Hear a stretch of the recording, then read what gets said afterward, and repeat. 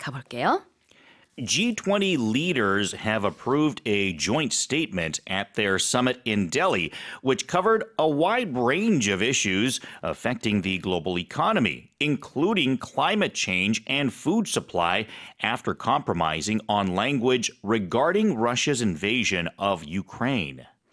인도 뉴델리에서 열린 주요 20개국 G20 정상회의에서 공동 선언 합의가 이루어졌습니다.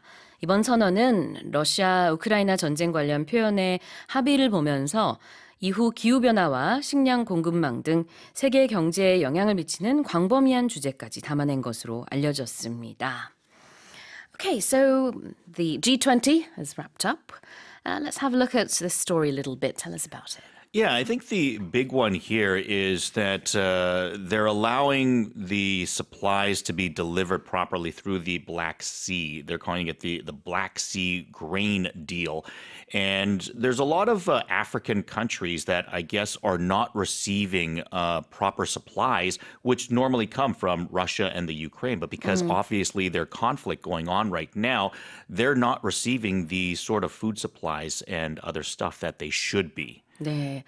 어, 사실 이제 러시아 우크라이나 문제에 관해서는 지난 G20 정상회의 때와 크게 달라진 어, 모습은 아닙니다만 그래도 이제 러시아의 여러 가지 반대가 예상됐었는데 아, 그나마 joint statement 공동 선언문 자체가 나온 것으로도 유의미하다. 그 외에 다른 문제들에 관해서는 이제 아, 국가들이 한 마음이 된 모습을 볼 수 있습니다. Especially when it comes to the global economy. I think they were all on the same page there. Yeah, absolutely. Uh, and like you said, uh, with uh, the the grain shortage and, and the that as well as the climate change, uh, there's all sorts of things that uh, they're talking about. It wasn't just one thing. Exactly. 자, 그래서 첫 번째 표현인데요. A r- wide range of issues. Exactly. It wasn't uh, one specific talk, uh, topic that was uh, the biggest concern. It was uh, a very wide range of issues, meaning it was broad. There was something talking about food shortages, but then they're also talking about climate change. And then they're also talking about the language of what was going on between Russia and the Ukraine. So these are all very different things. The range of it was very wide. So there wasn't one specific issue. There were mm. a lot of different, very different things. Exactly. You could maybe use this expression at a restaurant or somewhere where they have loads of different foods to choose from. That's right. They have a wide range of foods. It's maybe not just Mexican, but maybe it's Mexican, Italian, American, uh, maybe Korean as well. Uh, Korean, just- Chinese, yeah. Japanese. They have all sorts of things. They've got a wide range of selections on their menu. 그렇게 말할 수도 있겠죠. A wide range라는 것 자체가 광범위하다라는 뜻인데 issue는 여기서 이제 여러 주제들이 어, 이 공동선언문에 담겼다 그런 것들을 다뤘다라는 뜻이 되겠고요. What about the verb to compromise? Yeah, when you compromise, you're basically accepting less than what you were expecting. I think uh, you have expectations, and if you're compromising, then you're saying, okay, like I'll take less of that.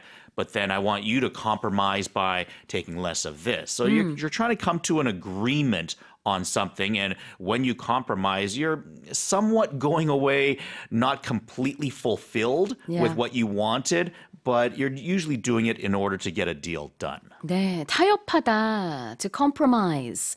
Give us an example sentence. Yeah, uh, both sides compromised more than they wanted, but the deal got done. 양측 다 처음 생각했던 거 이상으로 타협을 했지만 이제 절충을 했다는 의미겠죠. The deal got done. 결국은 그래서 합의가 이루어졌다. 자, 다시 한번 우리 세 번째 헤드라인 제가 읽어보겠습니다.